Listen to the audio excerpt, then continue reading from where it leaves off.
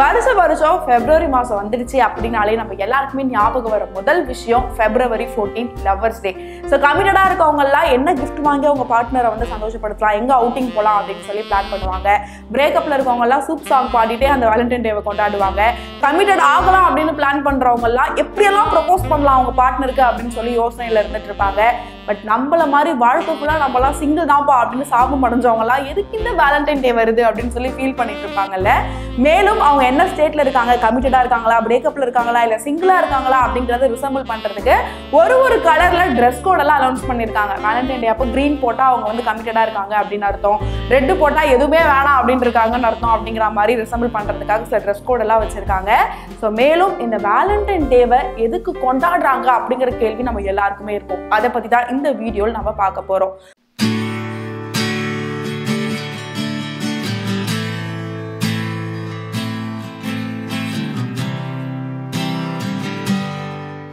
So அந்த காலத்தில் அதாவது ரொமானியர்கள் வந்து ஆட்சி காலத்தில் இருந்தபோது தான் இந்த வேலண்டைன் டே அப்படிங்கிறது ஒன்று வந்ததா ஆய்வாளர்கள் சொல்றாங்க.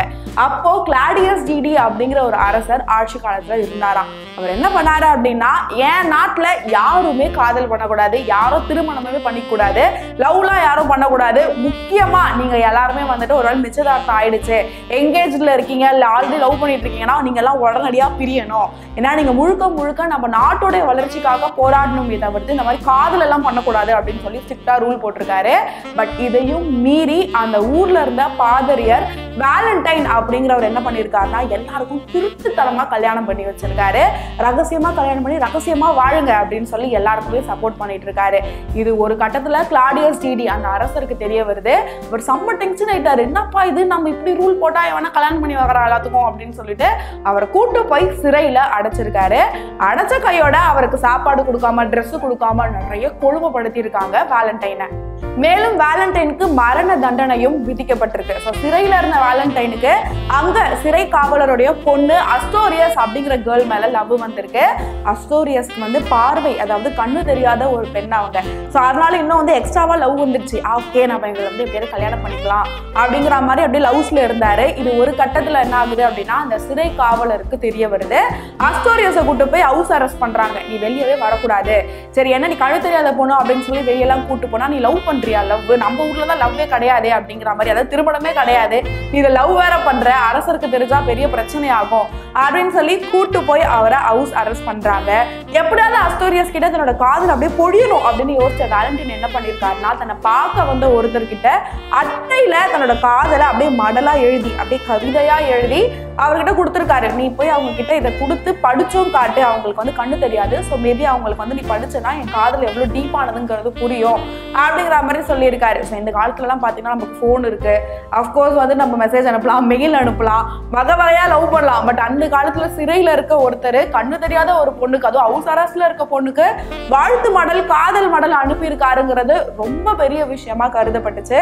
பட் இதையும் எப்படியோ அந்த அரசர் தெரிஞ்சுக்கிட்டாரு. இவன் எல்லாருக்கும் கல்யாணம் பண்றான்னு சிறையில் அடிச்சா இவனே அவனுக்கு கல்யாணம் பண்ணலாம்னு பிளான் பண்றானே. என்ன பண்ணலாம் அப்படின்னு சொல்லி என்ன பண்ணியிருக்காருன்னா ரொம்ப நாள் யோசிச்சு சிறையில இருக்க காவலர்கள் எல்லாரையும் கூப்பிட்டு நம்மளுடைய வேலண்டைனை கல்லால அடிச்சு கொலை பண்ண சொல்லியிருக்காரு. எல்லோரும் அவரை கல்லால அடிச்சு சித்திரவதை பண்ணியிருக்காங்க.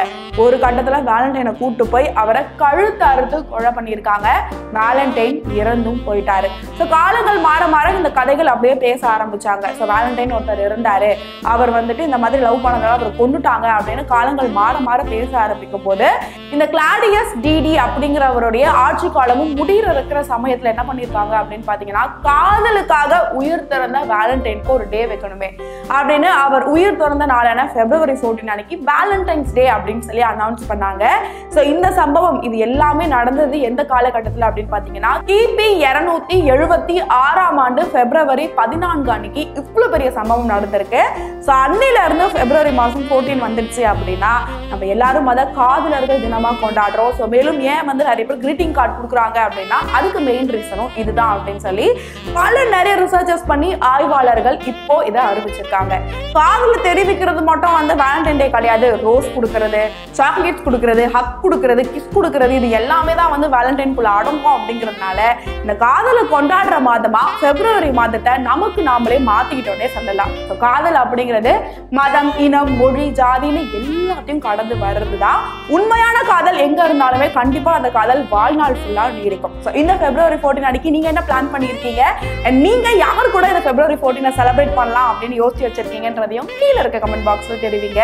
இந்த வீடியோ உங்களுக்கு பிடிச்சிருந்தா மறக்காம லைக் பண்ணுங்க ஷேர் பண்ணுங்க. இந்த மாதிரி எக்கச்சக்க அப்டேட்ஸ்க்கு நம்ம சேனலை சப்ஸ்கிரைப் பண்ணிடுங்க.